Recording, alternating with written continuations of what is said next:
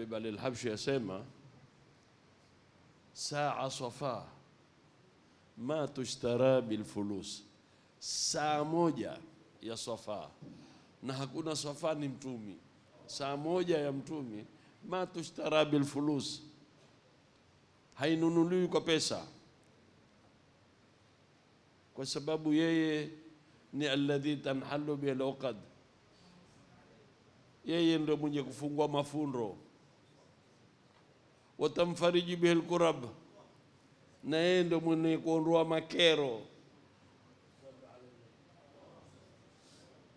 Watunalu bihi raghaib, na utapata yale uyatakao yoyote, na mwisho wa husnul khawatim, nao ni khatima mzuri. Tumfuateni Mtume, tumpendeni mtume na huu ndio mwezi wake, na Mwenyezi Mungu anatuambia qul bifadlillahi wa birahmatihi falyafrahu, kwa fadla ya Mwenyezi Mungu kukupa Uislamu, kwa fadla ya Mwenyezi Mungu kukupa kila kitu, wa birahmatihi, na kwa rehma yake Mwenyezi Mungu, rehma yake ni mtume, inna arsalnaka rahmatan lil alamin. Kwa hivyo faliyafrahu, nyinyi Waislamu furahikeni naye. Kwa hivyo ni jambo kubwa sana. Mtume hawezi kusifika kumweleza kwa dakika chache. Mwenyezi Mungu amemweleza yeye kwa kila namna mwisho amwambia wakana fadlullahi alaika adhima, Mungu amwambia wewe fadhila zako ni kubwa. Mwenyezi Mungu ni adhim na fadhila za mtume ni adhim. Uadhimu wake uko vipi? Twawashukuru walimu, hii kazi ambayo kwamba waifanyayo ya kuwatia watoto mahaba ya mtume ndo kitu kikubwa sana. Ulimwengu umekuwa mbaya sana, ulimwengu wa tetema. Ulimwengu wa sasa si ulimwengu wa karne iliyopita. Matatizo yamekuwa mengi sana kuhusu watoto kuhusu taalimu, kuhusu fasadi ziliyoko. Ufisadi umekuwa mkubwa sana. Hakuna kitu ambacho kwamba chaweza kutukinga sisi ni kumtia mtume ndani ya mahaba, kumtia mtume kwenye nyoyo za watoto. Jerusalem wafanya kazi kubwa sana na iko Europe pia yafanywa. Ukiangalia online watu wafanya kumswalia mtumi saa zote zifike mara bilioni. Angalia hali utakavyokuwa wewe kwa swala ya mtume.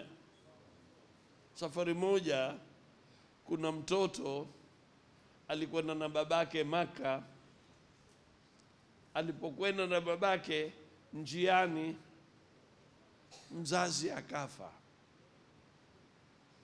akamfia kwenye ziweo zake.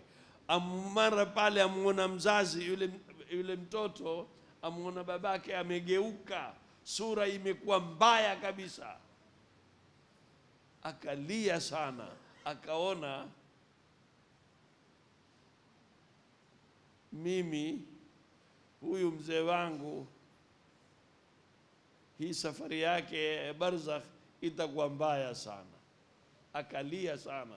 Alipolia mara aona harufu mzuri sana, akiangalia mwana mtu hawezi kumtanganya zile sura zake nzuri sana, akamwambia mimi ni Muhammadur Rasulullah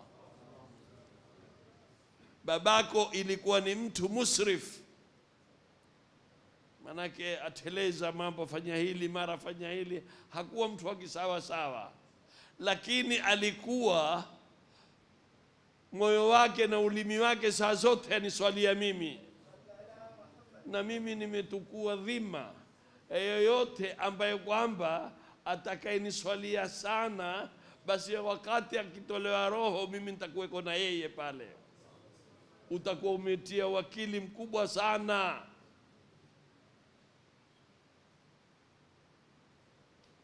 Pale pale yule mtoto akishtuka hivi, manake yule alimwambia hivi ile, kisha akampapasa yule, yule uh, babake.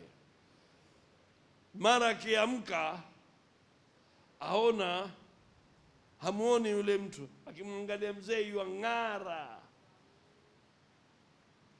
ujuhu yawmaidhin nadhira ila rabbiha nadhira, wang'ara ule uso. Basi yule mtoto akamfanyia kazi zake, akam- a- akamwosha, akamkafini, akamzika, akenda zake Maka. Alipokwenda Maka akawa yuwatufu saa zote, yeye aswalia mtume tu, amswalia mtume tu. Akapambana mwana- mwanachuoni mmoja Zakaria al-Ansari, bwana mkubwa kabisa, alipomwona hu mtoto sura zake na namna yake, alimshika akamwambia, mbona hapa kila mahali kuna dua zake, mbona wafanya ki- kinyume cha dua? Alim, alimtatua kaenda amaliza tawafu yake. Akimaliza tawafu akat- akatarakai, akamwona yule mzee ah, akasema lakini nu, eh, nu- nuru ya mtume naiona pale. Akamwendea akamwambia, umeniuliza swali, nataka kujibu, lakini najua wewe ni mjuzi. Akamwambia, wewe umeniambia kila mahali kuna dua zake, na sasa mimi nimetwa- na- naswalia mtume tu kutoka kwa mwanzo mpaka mwisho. Akamwambia, mimi nafanya hivyo kwa sababu mtume mwenyewe amenambia. Akamwambia vipi? Akamwelezea kila kisa cha babake na nini. Basi na Zakaria al-Ansari akamwambia alzim, ziwie hapo hapo.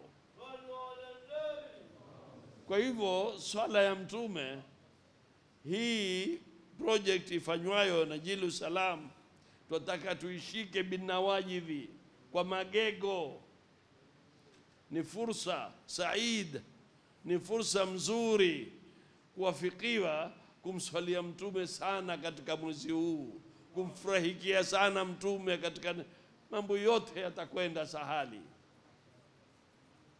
Hakuna zaidi ya mtume. Kwa haya machache, sisi twamwambia Mwenyezi Mungu, inna nukaddimu ilaika, sisi twakutanguliza wewe bijahi rasulika nabii lkarim, wanatawassalu ilaika, na sisi tutawasali kwako wewe bisharafi dhati maqami ladhim an tulahidhana fi harakatina wa sakanatina biainina. Manake mambo yametutatia, ulimwengu umekuwa mbaya, manake sisi dhana yetu ni mzuri kwa Mungu, wadhununan jamilatan hiya wasilatuna ilaika fala tukhayibna, dhana yetu ni mzuri kwako wewe ya Rab, usitufanye tusikose fadhila kama hizi.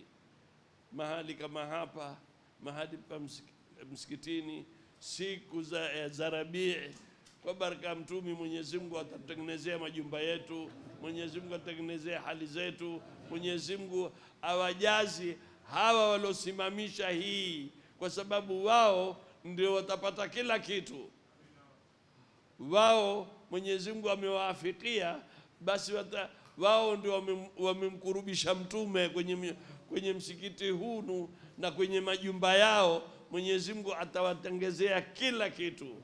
Wabihadha, wassalamu alaikum walafu minkum. ربنا انفعنا بما علمتنا رب علمنا الذي ينفعنا رب فقهنا وفقه أهلنا وقرابات لنا في ديننا.